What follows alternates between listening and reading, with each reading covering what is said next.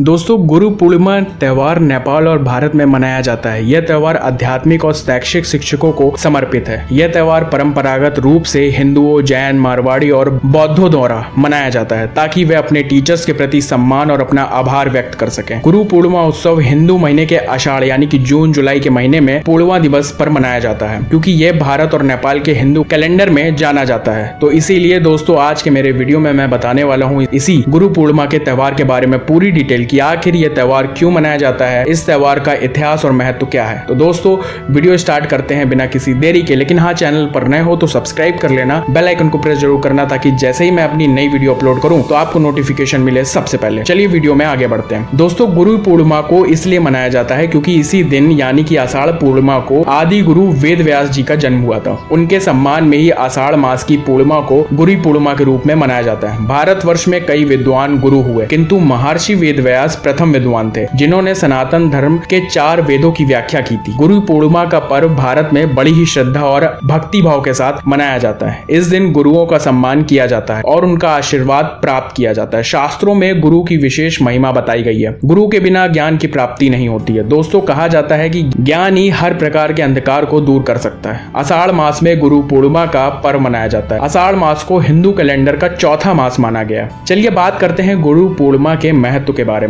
इस दिन को हिंदू धर्म ग्रंथों के अनुसार महाभारत के रचयिता कृष्ण द्रेपायन व्यास जन्म दिवस भी माना जाता है। वे संस्कृत के महान विद्वान थे। महाभारत जैसा महाकाव्य उन्हीं की देन है। इसी के अठारवे अध्याय में भगवान श्री कृष्ण गीता का उपदेश देते हैं। सभी अठारह पुराणों के रचयिता भी महर्षि वेद व्यास को माना जाता है। वेदों को विभाजित करने का श्रेय भी इन्हीं को दिया जाता है। इसी कारण इनका नाम वेद व्यास पड़ा था। वेद व्यास जी को आदि गुरु भी कहा जाता है। इसीलिए गुरु पूर्णिमा को व्यास पूर्णिमा के नाम से भी जाना जाता है। दोस्तों, क्या आपको पता है कि गुरु पूर्णिमा को वर्षा ऋतु में ही क्यों मनाया जाता है? चलिए बात करते हैं। भारत वर्ष में सभी ऋतुओं का अपना ही महत्व है। गुरु पूर्णिमा को खास तौर पर वर्षा ऋतु में ही क्यों मनाया जाता है, इसका भी एक कारण है। क्योंकि इन चार माह में न अधिक गर्मी होती है और न ही ज़्यादा सर्दी। ये समय अध्ययन और अध्यापन के लिए अनुकूल रहता है। इसीलिए गुरु चड़ल में उपशिष्य ज्ञान, शांति, भक्ति और योग शक्ति को प्राप्त करने के लिए इस समय का चयन किया गया है। चलिए बात कर लेते हैं अब की बार यानी कि 2021 में ये गुरु पूर्णिमा का त्यौहार कब मनाया जाने वाला है? गुरु पूर्णिमा की जो तिथि है, वो है 23 जुलाई 2021 से